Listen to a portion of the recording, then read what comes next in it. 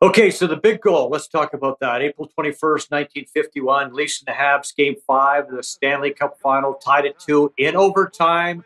Howie Meeker, you're going to see him a lot today, uh, works that puck in front. Barilko flies in, beats Gerry McNeil in the Habs net, leaves his feet, kind of like Bobby Orr did a few years later. And it's a 3 2 victory for the Leafs. Gives them the Stanley Cup championship. All five games in this series were decided in overtime. Would you consider this a classic, Kevin? Oh, without question. In my opinion, it's the greatest goal in Toronto Maple Leafs history.